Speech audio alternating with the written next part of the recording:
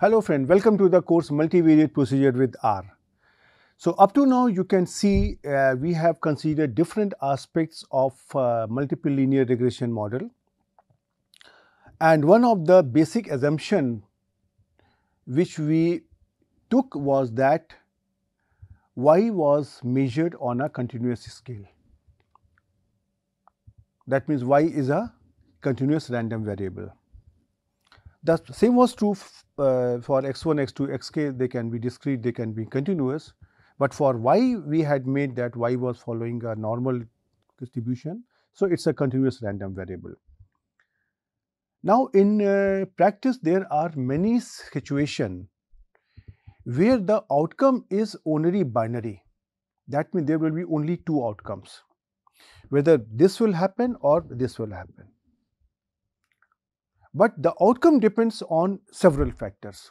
For example, if I say the example of uh, there is a bank who wants to take a decision whether a credit card is to be issued to any customer or not. Now, if the bank wants to take a decision on the credit card, then the there are different variables which are going to influence that decision. For example, the salary of the customer. What uh, was the past? Means in the past, if the customer has any uh, loan the customer has repaid it in time or not because in credit card what is happening you are trying to first uh, spend and then you have to pay it back after a month or so and in case if the customer does not have a sufficient salary then possibly the customer will spend from the credit card but then there is a risk that uh, person may or may not be able to, uh, to pay it and then the bank will be at loss. So, when the bank is trying to take the decision, it tries to consider different factors salary, what was the past uh, and what is the age etc., etc. But the final decision is only one whether the credit card has to be issued or not. So, your response variable will take only two possible values and they can be indicated by say 0 or 1. For example, y equal to 1 means yes credit card can be given and y equal to 0 means credit card can not be given. So, this is a binary there is no value between 0 and 1. In, in such a case if the y value takes value 0.7 it has no meaning so, the next question is how to do the regression modeling when our response variable is binary in nature and response variable is depending on say more than uh, two or say several independent uh, variable or several explanatory variable. So, in simple words whatever multivariate or say multiple linear regression model we have considered y equal to x beta plus epsilon. Now, there is a constraint that the values in the y vector they takes only two possible values 0 or 1. So, now in such a situation how to do the regression modeling. This is the topic which we are going to discuss in this lecture. So, this can be achieved by logistic regression. So, let us try to understand about the logistic regression, its basic concept and how to implement it in the R software in this lecture. So, let us begin our lecture. Okay, so now we are going to talk about the logistic regression model in this lecture. So, in the linear regression model y equal to x beta plus epsilon, there are two types of variable.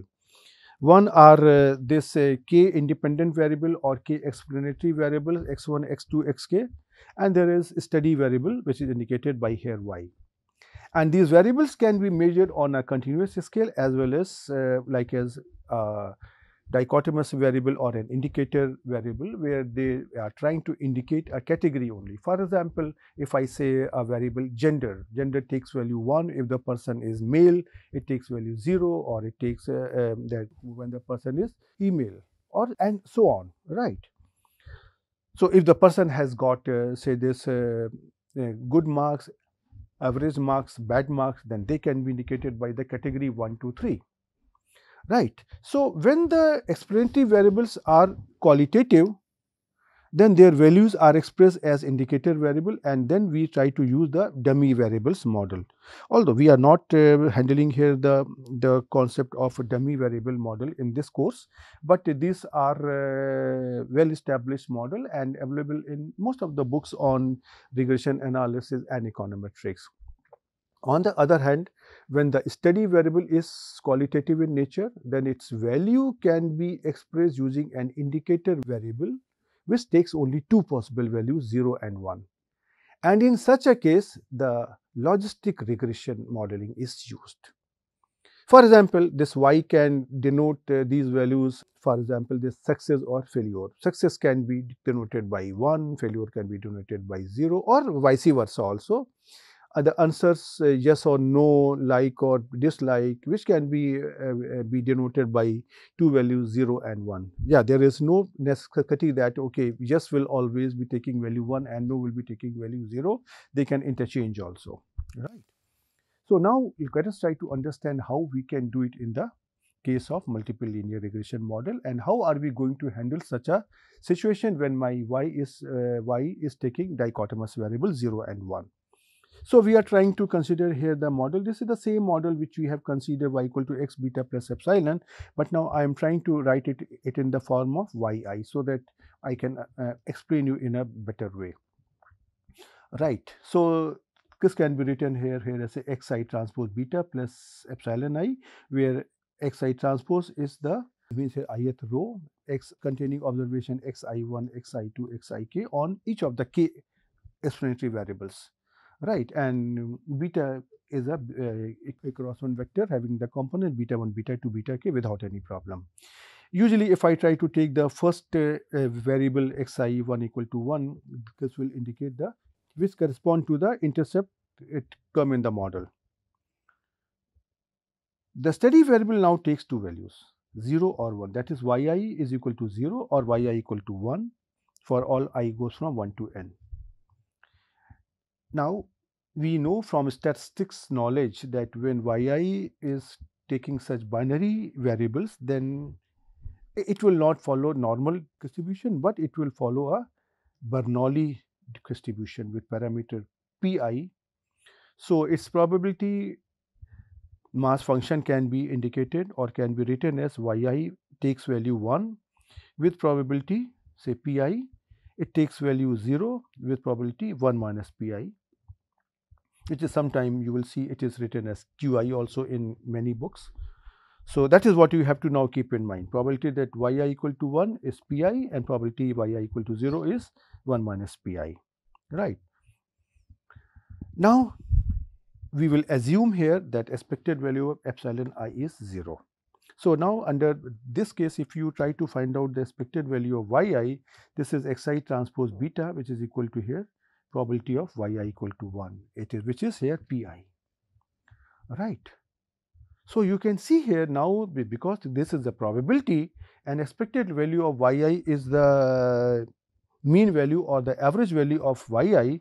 So, now there is a constraint that the average value is lying between 0 and 1 and if you try to recall your general setup of multiple linear regression model there was no such constraint. The average value can lie between minus infinity and plus infinity. And in this case, the variance of uh, yi, it is the variance of a Bernoulli distribution, which is given as a p into 1 minus p.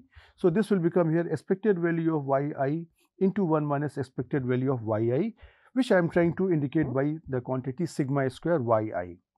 Now, if you try to recall earlier in the case of multiple linear regression model, your variance sigma square was not dependent on the observation.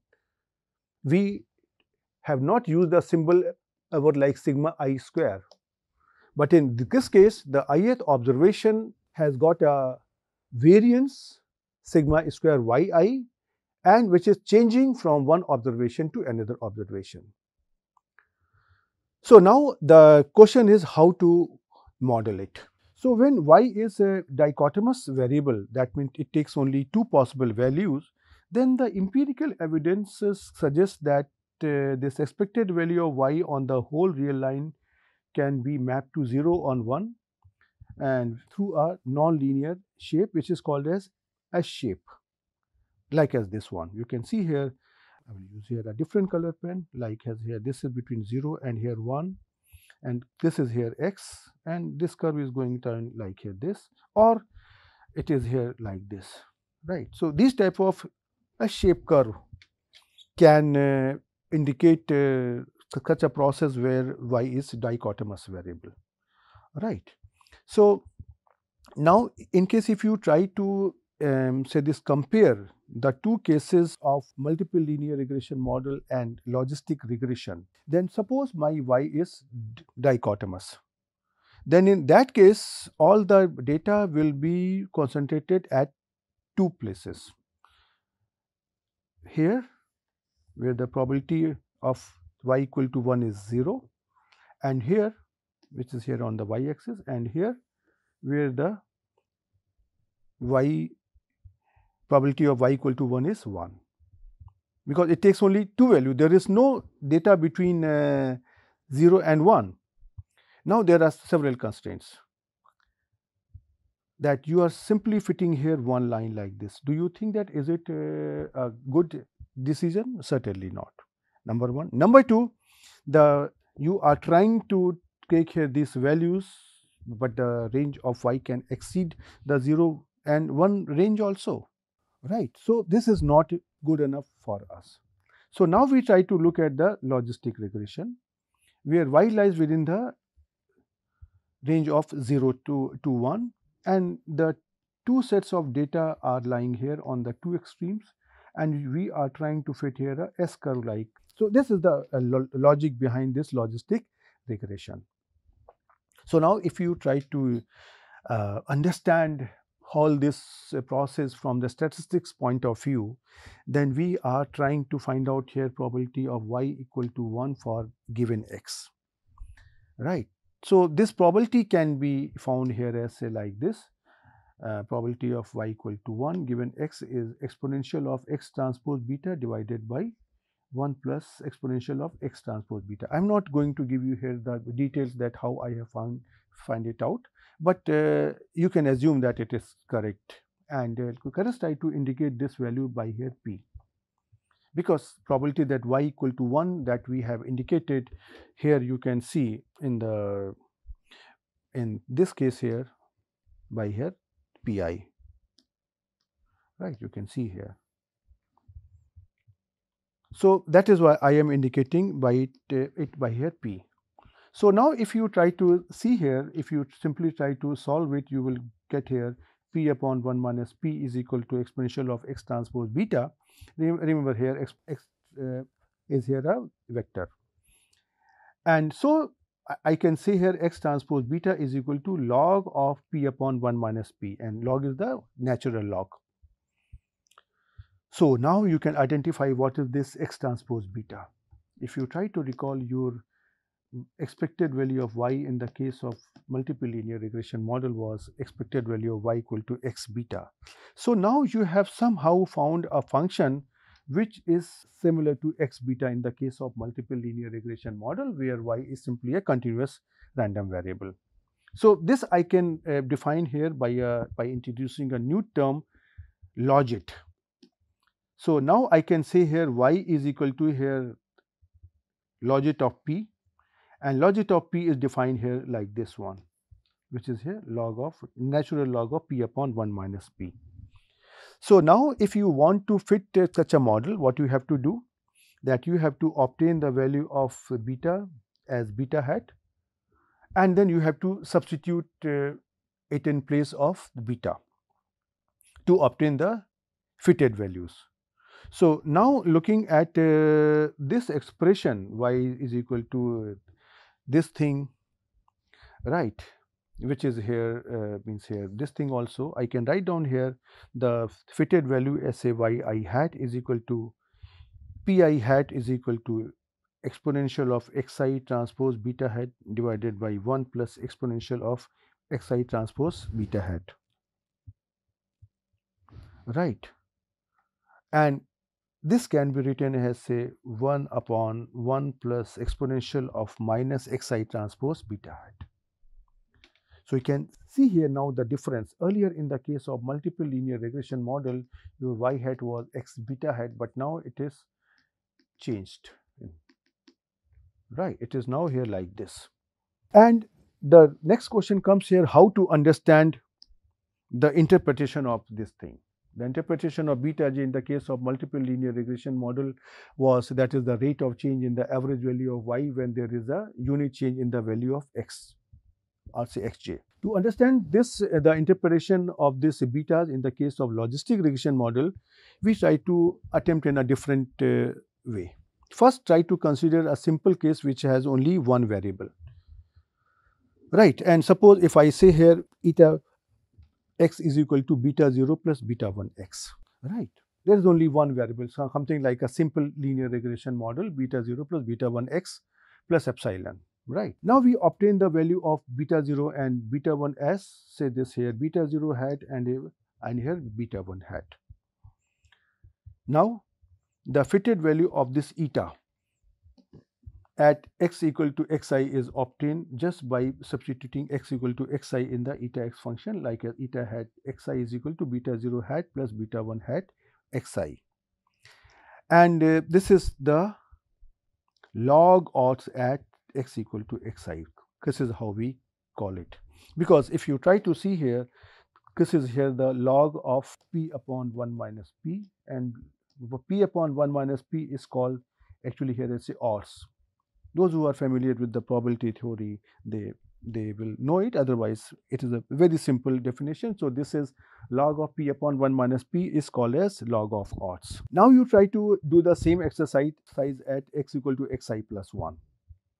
So, obtain the fitted value of eta at uh, this xi plus 1 as eta hat xi plus 1 will be equal to beta 0 hat plus beta 1 hat into xi plus 1 which is the log odds at x equal to xi plus 1 right? Log odds mean log of say here base e p upon 1 minus p this is log odds.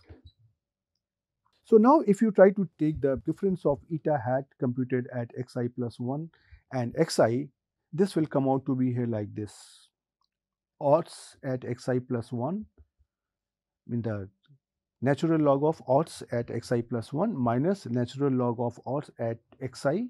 This will come out to be here natural log of the odds of xi plus 1 divided by odds of xi. And if you try to see here, if you try to transform it, then uh, this here odds of xi plus 1 divided by odds of xi is simply coming out to be here exponential of beta 1 hat. And on the other hand, if you try to look here, if you try to take this uh, difference here, say eta hat xi plus 1 minus eta hat xi, it is equal, equal to here beta 0 hat plus beta 1 hat xi plus 1 minus here beta 0 hat minus beta 1 hat xi. So, you can see here that this beta 0 beta 0 will get cancelled out beta 1 xi will get cancelled out this xi. So, we are getting here as a beta 1 hat. So, this is what I have written here right. So, now you have obtained uh, this quantity uh, like as here.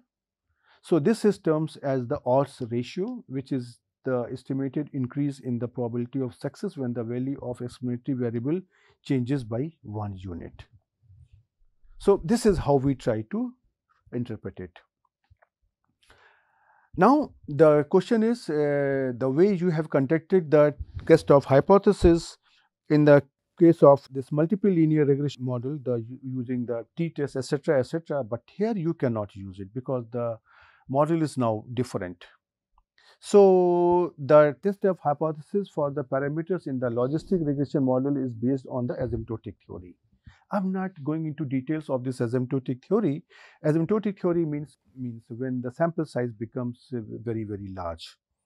Right. So, and for the test of hypothesis, we have a very general procedure which is the likelihood ratio test. So, uh, the way we try to do it that uh, the such test of hypothesis is actually a large sample test which is based on the likelihood ratio test statistics which is called as deviance. Right. And there are certain uh, definitions, for example, a model with exactly p parameter that uh, perfectly fits to the sample data is termed as saturated model. And the statistics that compare the log likelihoods of fitted and saturated model is called as model deviance. And we use this model deviance to, to conduct the test of hypothesis. It is defined as uh, like this. The model deviance is indicated by this uh, lambda beta, which is actually twice of uh, natural log of the uh, likelihood of the saturated model minus twice of natural log of the likelihood of the function at beta equal to beta hat where beta hat is the maximum likelihood estimate of beta and this L is here the likelihood function. So, in case if you assume that the logistic function is correct, the last sample distribution of likelihood ratio test statistics is approximately distributed as chi square with n minus k degrees of freedom when n is large and that is a very standard result in statistics right. So, thus at alpha percent level of significance we can conclude that if your uh, model deviance is smaller than chi square uh, value with n minus k degrees of freedom at alpha level of significance then it indicates that uh, fitted model is adequate. And if reverse uh, happens that lambda b is greater than chi square with n minus k degrees of freedom then it indicates that fitted model is not adequate. So, this is how we try to conduct the test of hypothesis in the uh, this logistic regression model. Now, we I will try to take a simple example and I will try to show you how you can implement it in the R software. So, I am trying to use here the data set for from the book Statistical Analysis and Data Displays by, by Heiberger and Holland which was published by Springer in 20, uh, 2015. Yeah, this data is available uh, through a package. So, that is why I am trying to use it here. So, if I try to use it here for, for this thing I need to install here a package which is HH. This is the capital H, capital S uh, means capital S two times right. So, you need to install this package using the command install dot packages. You need to upload it, um, uh, it using the command library and after that I will use here the data whose name is SPACSHU. It has got 138 observations on two variables, right. And uh, this data I can show you it, it here looks here like this. Well, I will try to show you in the R console also, so which has which has got a variable here temperature in Fahrenheit and then damage which is here only only two values 0 and 1 you can see here. Some values are 0, some values here are 1 and that is all.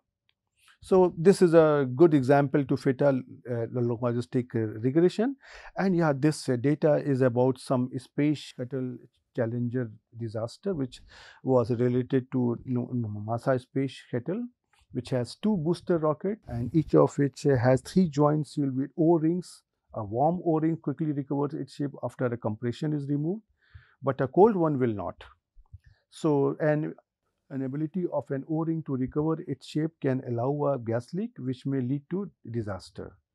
So, on January 28, 1986, the Space Shuttle Challenger exploded during the launch and the coldest previous launch temperature was 53 degree for Fahrenheit. So, the temperature forecast for time of launch of the Challenger on the morning of January 28, 1986 was 31 degrees Fahrenheit.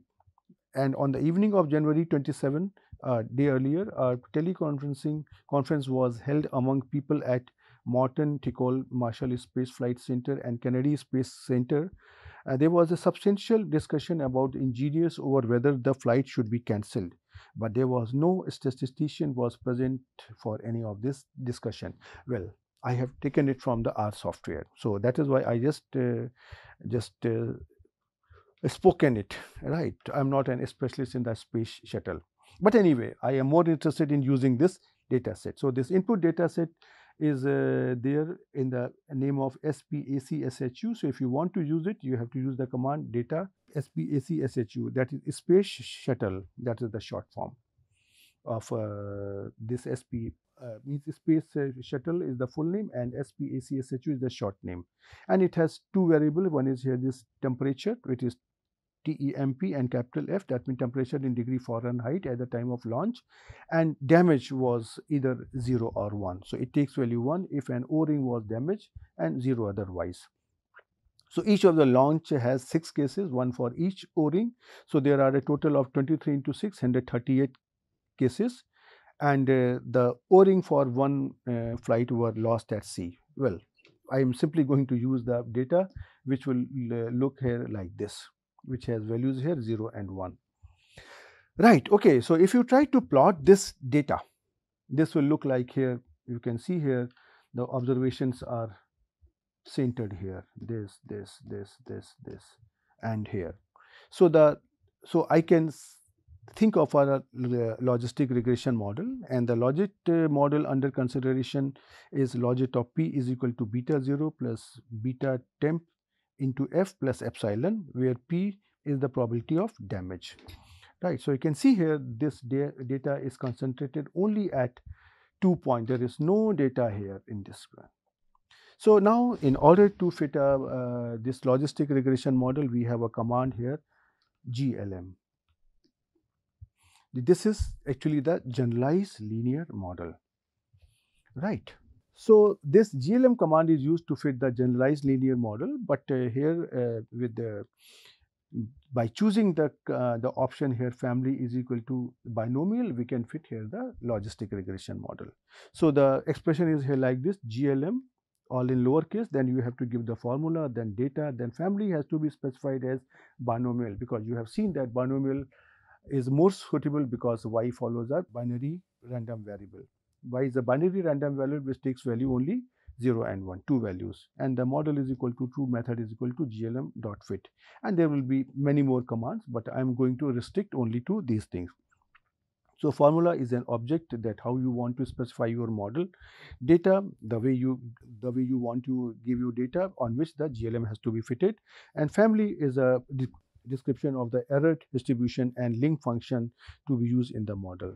Right. Rest you can see in the help. But anyway i want to show you here the uh, the application. So i tried to use here the command here glm uh, damage tilde temp f. It is something like y tilde x formula as we use in the case of multiple linear regression model like this. Data here is SPAC and family here is binomial and whatever is the outcome this I am trying to store in this this outcome SPACSHU to dot GLM. You can give uh, give any name right so that I can analyze it because I will be using it couple of times. So if you try to see here this is here the outcome. So it is here the GLM function what we have given command then I have here coefficients the value of interceptum beta 0 and the value of beta 1 and then you have here uh, degrees of freedom here 137 and uh, then you, you have here the value of null deviance then the residual deviance and the value of AIC. AIC is the Akaike information criteria right because here you cannot use the uh, use here the r square or the coefficient of determination. So, now based on that you can uh, also find out uh, different types of things. For example, if you use here a command here COEF over this summary of this outcome, then you can get here these uh, details. For example, estimates that means beta 0 hat and beta 1 hat for interceptum and temperature. Then their standard error are here, their z value are here, their p value are here, right. So, now based on this I can say here that the fitted model or the fitted logit model under consideration is logit of p hat is equal to 5.085 this is the value of here beta 0 hat minus 0.1156 f which is the value of here beta 1 uh, from here. So, look, let me try to show you these things on the R console and you can see here this is here the the outcome on the R software, right. So, let me try to first do it. Yeah, I already have installed this package on my computer. So, I am not installing it, but definitely I need to uh, upload it and I need to have this data set. So, you can see here So yeah, if you try to see here SP is CSHU, yeah, you can see here this is the data set here like this. There are 138 observations you can see here, right. So, at any rate this data you can also observe. My objective is to first to make here the plot, right. So, if I try to make here the plot, so you can see here this will come out here like this. All the points are concentrated on the, bottom at 0 and at 1 on the top you can see here. And after that I try to use here by this glm command and I would like to save it here so that I can find out the summary command also. So you can see here let me try to clear the screen. So you can see here SPACSHU dot GLM. So you can see here this is here the outcome. Right. So this is what you are getting here. This is the same outcome which I explained you. And if you want to get here the coefficients of uh, this thing where from where you can obtain this model, this is here like this. Right. So you can see here this is how you can obtain a logistic regression model also. And uh, yeah, means you can, yeah, we have not covered here AIC, but anyway, you can have a look into the books and you can find out about Akaike information criteria as well as Bayesian information criteria that is BIC. Yes, I have given you a brief idea about this concept of uh, model deviance. So, null deviance is the model deviance under H naught and uh, its value here is 66.54. Okay, so now we come to an end to this lecture and you can see here in this uh, lecture we have talked about the generalized linear model and we have taken a very specific case which is the logistic regression. This GLM command is a, is a very generalized uh, command in uh, regression analysis and in linear models and it is used under different types of uh, concepts and we have used it for the sake of fitting logistic regression. Yes, I agree. There were some concept which uh, we have not understood it, but uh, definitely they are very popular concepts and which are available in almost all the books on regression analysis in the chapter of logistic regression model. My objective was to give you a fair idea that under what type of situation you can use the logistic regression model and how to obtain them in the R software. So, I will stop here, but definitely you do not have to stop, but you have, but you need to take some data set, you can collect some artificial data set and try to execute these commands and try to see how you can interpret it. And believe me, this logistic regression is very useful in real data set because many times you want to take a decision. The decision can be yes or no. You are not interested in the values in those cases, this is a very popular modeling technique whenever the response variable takes the binary variable, binary outcome. So, you try to practice it and I will see you in the next lecture. Till then, goodbye.